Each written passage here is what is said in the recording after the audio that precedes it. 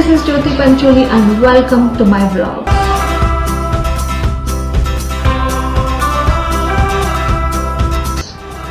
Salt has been the most precious minerals from ages.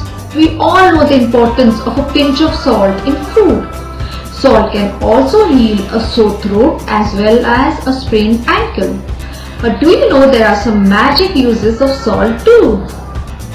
Salt is a crystal. It can absorb moisture from the air and that is why it is used to purify and cleanse the energies of an object. It is especially used to clear the energies of crystals before use. Always keep salt in a glass container. And when you fill salt in a glass container, keep a glove in it. This will ensure wealth and prosperity in your family. You must never taste food while preparing it.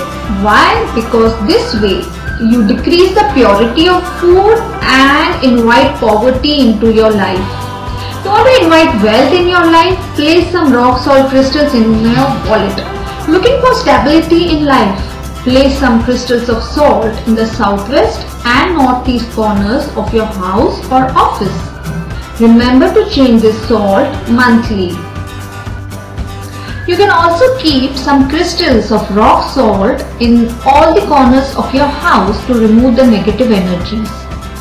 Another option is you can mop the floors with salt water. This way you can remove a lot of negative energy from your house.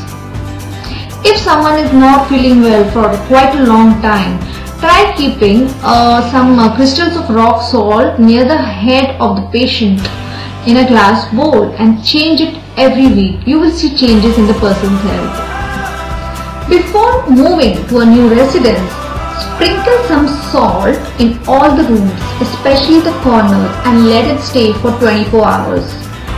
This will absorb the energies of the previous occupants. Next day, sweep off the salt and dispose it off. When your mind does not feel at peace, add some salt in your bathing water. Salt baths help you get rid of the bad feelings and the negative thoughts especially when you've been around negative people.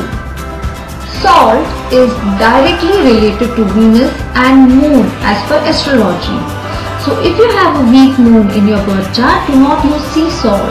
And if you have a weak Mars in your birth chart, do not use rock salt. In the birth chart, if you have a weak Venus, make sure you donate some salt to the needy. So now that you know salt has magic uses too, Make sure you use salt wisely. That's all in today's video. Thank you for watching.